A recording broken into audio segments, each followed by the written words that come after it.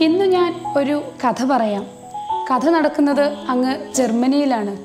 ജർമ്മനിയിലെ പസാവുവിൽ ഒരു കുട്ടിയുണ്ടായിരുന്നു ചിത്രകാരനാകാൻ ഒരുപാട് ആഗ്രഹിച്ച ഇരുട്ടിനെ ഭയപ്പെടുന്ന ഒരു കുട്ടി. മാതാപിതാക്കളെയും സഹോദരങ്ങളെയും കൂടാതെ ആ കുട്ടിയുടെ വീട്ടിൽ ഒരു അമ്മായി കൂടി ഉണ്ടായിരുന്നു. അമ്മായി എന്ന് പറയുമ്പോൾ തന്റെ അച്ഛന്റെ അർദ്ധ സഹോദരി. മുച്ചുണ്ടും പിന്നെ മറ്റു ചില വൈകല്യങ്ങളുമുള്ള ഒരു സ്ത്രീയായിരുന്നു അവർ. കുട്ടി ചിത്രകാരനാകാൻ ആഗ്രഹിച്ചിരുന്നുവെന്ന് പറഞ്ഞുവല്ലോ. അതുകൊണ്ട് തന്നെ അവൻ ചുമരിലും കിട്ടുന്ന കടലാസു തുണ്ടുകളിലുമൊക്കെ ചിത്രം വരച്ചുകൊണ്ടേയിരുന്നു. എന്നാൽ അച്ഛനും അമ്മായിക്കും ഈ ശീലം ഒട്ടും ഇഷ്ടമായിരുന്നില്ല. അവർ കുട്ടിയെ നിരന്തരം ഉപദ്രവിച്ചുകൊണ്ടിരുന്നു. മകന്റെ ചിത്രകലാ വൈദഗ്ധ്യത്തെക്കുറിച്ച് അമ്മയ്ക്ക് നല്ല ബോധ്യമുണ്ടായിരുന്നു. പക്ഷേ മുൻകോപക്കാരനായ ഭർത്താവിനെ ആ സാധു സ്ത്രീക്ക് പേടിയായിരുന്നു. കുട്ടി ചുമര് ചിത്രം വരച്ച് വൃത്തികേടാക്കുന്നുവെന്ന പേരിൽ ഒരു ദിവസം അച്ഛൻ കുട്ടിയെ ഒരു ഇരുട്ടുമുറിയിൽ അടച്ചിട്ടു. ഒരു രാത്രി മുഴുവൻ അവൻ ആ ഇരുട്ടിൽ ഒറ്റയ്ക്ക് പേടിച്ച് വിറച്ചങ്ങനെ ചെലവഴിച്ചു. പിറ്റേന്ന് മുതൽ ആ കുഞ്ഞിന് മാനസികമായി വല്ലാത്തൊരു മാറ്റമായിരുന്നു ഉണ്ടായിരുന്നത്. കുട്ടിയുടെ പതിനാലാം വയസ്സിൽ അച്ഛനും പിന്നീട് അമ്മായിയും മരിച്ചു.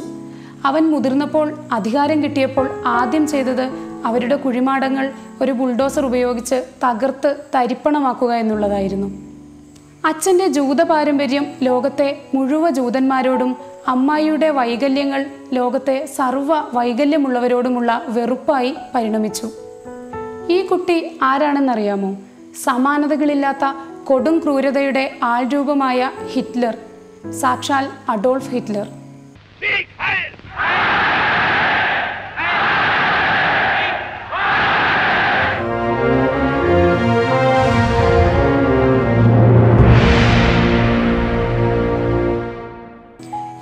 അധ്യായങ്ങളിൽ ടോക്കിംഗ് ഹിസ്റ്ററി ചർച്ച ചെയ്യുന്നത് ഹിറ്റ്ലറെ കുറിച്ചാണ്. പുതിയ പരമ്പരയിലേക്ക് എല്ലാവർക്കും സ്വാഗതം.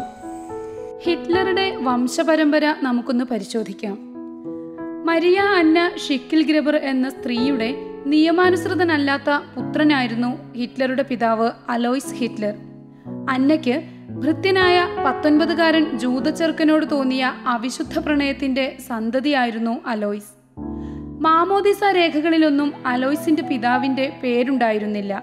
അതുകൊണ്ട് മാതാവിന്റെ കുടുംബ പേരായിരുന്നു അലോയ്സിന്റെ നാമത്തോടൊപ്പം ആദ്യഘട്ടങ്ങളിൽ ചേർത്തിരുന്നത്. അലോയ്സിന്റെ മാതാവ് അന്നയെ പിന്നീട് ജൊഹാൻ നെപോമുഖ് ഹിറ്റ്ലർ എന്നയാൾ വിവാഹം കഴിച്ചു. അതോടെ അലോയ്സ് ഹിറ്റ്ലർ കുടുംബത്തിന്റെ ഭാഗമായി. എന്നിരുന്നാലും അമ്മയുടെ ഭർത്താവിന്റെയും കുടുംബത്തിന്റെയും ആട്ടും തുപ്പും കേട്ടാണ് സാക്ഷാൽ ഹിറ്റ്ലറുടെ പിതാവ് അലോയ്സ് ഹിറ്റ്ലർ ബാല്യം കഴിച്ചുകൂട്ടിയത്.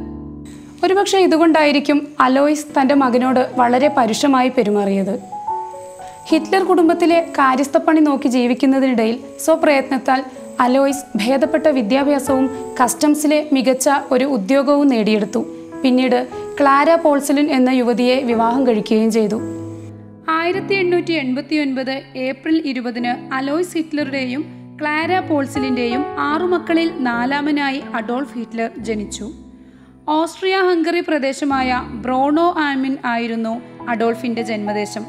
കൃത്യമായി പറഞ്ഞാൽ ബ്രോണോയിലെ സാൽസ്ബർഗൻ ഫിഫ്റ്റീൻ എന്ന സ്ഥലത്തെ ഗസ്തോഫ് ഡംബോമർ എന്ന സത്രത്തിലായിരുന്നു ഹിറ്റ്ലർ ജനിച്ചത്. ഹിറ്റ്ലറുടെ മൂത്ത സഹോദരങ്ങളായ Gustav Hitler Ida Hitler Otto Hitler എന്നിവർ ചെറുപ്പത്തിൽ തന്നെ ഡിഫ്തീരിയ ബാധിച്ച് മരണപ്പെട്ടു. പിന്നീട് ഹിറ്റ്ലർക്ക് മൂന്ന് വയസ്സുള്ളപ്പോൾ കുടുംബം ജർമ്മനിയിലെ പസാവുവിലേക്ക് കുടിയേറി. അവിടെ വച്ചാണ് ഹിറ്റ്ലർ ബവേറിയൻ ഭാഷ പഠിക്കുന്നത്. ജർമ്മനേക്കാൾ ഹിറ്റ്ലർക്ക് പ്രിയം ബവേറിയൻ ഭാഷയായിരുന്നു. അതുകൊണ്ടുതന്നെ തന്റെ പിൽക്കാലത്ത് പ്രസംഗങ്ങളിലെല്ലാം ഹിറ്റ്ലർ കൂടുതലായി ഉപയോഗിച്ചതും ബവേറിയൻ ഭാഷ തന്നെയായിരുന്നു. ഹിറ്റ്ലറുടെ പിതാവ് അലോയ്സിന്റെ അർദ്ധ സഹോദരി ജൊഹാന പോൾസിയും ഹിറ്റ്ലർ കുടുംബത്തോടൊപ്പമായിരുന്നു താമസിച്ചിരുന്നത്. മുച്ചുണ്ടും മറ്റു ശാരീരിക വൈകല്യങ്ങളുമുള്ള ഒരു സ്ത്രീയായിരുന്നു അവർ. ജോൺ ബാപ്റ്റിസ്റ്റ് പോൾസി എന്നയാളുമായി ജോഹാന്റെ വിവാഹം നടന്നുവെങ്കിലും അവരുടെ വൈകല്യവും വൈരൂപ്യവും കാരണം ആ വിവാഹബന്ധം വളരെ പെട്ടെന്ന് തന്നെ വേർപിരിഞ്ഞിരുന്നു. അതേ തുടർന്ന് ജോഹാന്റെ ജീവിതം അർദ്ധ സഹോദരനോടൊപ്പമായി. സഹോദരന്റെ കുട്ടികളെ പ്രത്യേകിച്ച് അഡോൾഫിനെ അവർക്ക് കണ്ടുകൂടായിരുന്നു. നിസ്സാര കാര്യങ്ങൾക്ക് പോലും അവനെ അവർ വല്ലാതെ മർദ്ദിക്കുകയും ശിക്ഷിക്കുകയും ചെയ്തു. ജോലി കഴിഞ്ഞ് തന്റെ സഹോദരൻ മടങ്ങി വരുമ്പോഴേക്കും അഡോൾഫിന്റെ കുസൃതികളുടെ ഒരു നീണ്ട നിര തന്നെ ഉണ്ടാകുമായിരുന്നു ജോഹാന്റെ കയ്യിൽ. അലോയ്സ് ആകട്ടെ യാതൊരു ദാക്ഷിണ്യവുമില്ലാതെ മകനെ മർദ്ദിച്ചു. തുകൽ അരപ്പെട്ട യൂരി കുഞ്ഞിനെ മർദ്ദിച്ചുകൊണ്ടേയിരുന്നു. എന്നാൽ അവന് ഏറ്റവും അസഹനീയം പിതാവ് അവനെ ഇരുട്ടുമുറിയിൽ അടയ്ക്കുന്നതായിരുന്നു. ഇരുട്ടിനോട് അസ്വാഭാവികമാം വണ്ണം ഭയമായിരുന്നു ആ കുട്ടിക്ക്. അഡോൾഫിന്റെ മാതാവ് ക്ലാരയ്ക്ക് മകനോട് സ്നേഹവാത്സല്യങ്ങളൊക്കെയുണ്ടായിരുന്നു. എന്നാൽ ക്ഷിപ്രകോപിയായ തന്റെ ഭർത്താവിനെയും ഭർത്തൃ സഹോദരിയെയുമെല്ലാം ആ സാധു സ്ത്രീക്ക് ഭയമായിരുന്നു. ഭർത്താവിന് മകനോടുള്ള സമീപനത്തെയും ക്രൂരമായ ദണ്ഡനങ്ങളെയും ചോദ്യം ചെയ്യാൻ അവർക്ക് സാധിക്കുമായിരുന്നില്ല. തന്റെ മകൻ ഒരു വൈദികനായി തീരണമെന്നാണ് ആ മാതാവ് ആഗ്രഹിച്ചിരുന്നത്. അവർ അവനെ സംഗീതം അഭ്യസിപ്പിച്ചു. മതപാഠങ്ങൾ പകർന്നു നൽകി. അവനെ സ്വഭാവശുദ്ധിയുള്ളവനും ദൈവഭയമുള്ളവനുമാക്കി മാറ്റാൻ അമ്മ അവനെ നിരന്തരം പള്ളിയിലേക്ക് അയച്ചു. എട്ടു വയസ്സുള്ളപ്പോൾ അഡോൾഫ് പള്ളികളിലെ ആരാധനകളിൽ ഭക്തിയോടെ പങ്കുചേർന്നു. പള്ളിയിലെ ഗായക സംഘത്തിലെ അംഗവുമായി അവൻ. ആയിരത്തി എണ്ണൂറ്റി തൊണ്ണൂറ്റിനാലിൽ ഹിറ്റ്ലർ കുടുംബം ലിൻസിലെ ലിയോണിങ്ങിലേക്ക് താമസം മാറി. ആയിരത്തി എണ്ണൂറ്റി തൊണ്ണൂറ്റി അഞ്ച് ജൂണിൽ അലോയ്സ് ഔദ്യോഗിക ജീവിതത്തിൽ നിന്ന് വിരമിക്കുകയും ലംബാക്കിന് സമീപത്തെ ഹാംഫെൽഡിൽ സ്ഥലം വാങ്ങി താമസം മാറുകയും തേനീച്ച കൃഷിയിലേക്ക് തിരിയുകയും ചെയ്തു. ഫിസ്കൽ ഹാമിനടുത്തുള്ള ഒരു ടെക്നിക്കൽ സ്കൂളിലായിരുന്നു അഡോൾഫിന്റെ പ്രാഥമിക വിദ്യാഭ്യാസം.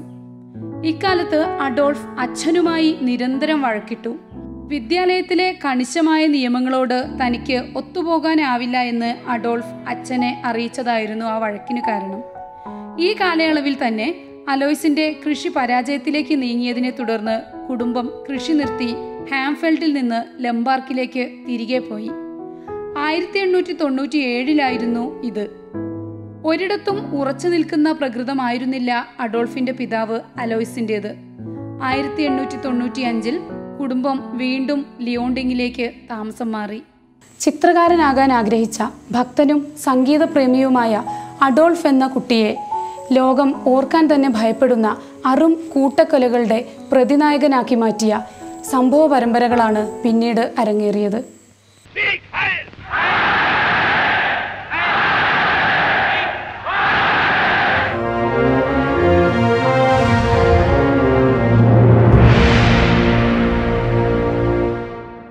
അത് വരും ആഴ്ചകളിൽ കാണാം. അടുത്ത ആഴ്ച കാണും വരെ നന്ദി നമസ്കാരം.